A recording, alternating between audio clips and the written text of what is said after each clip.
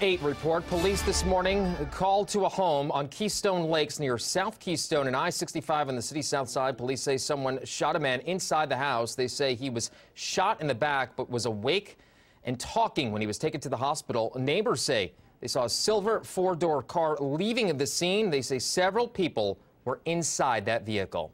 Another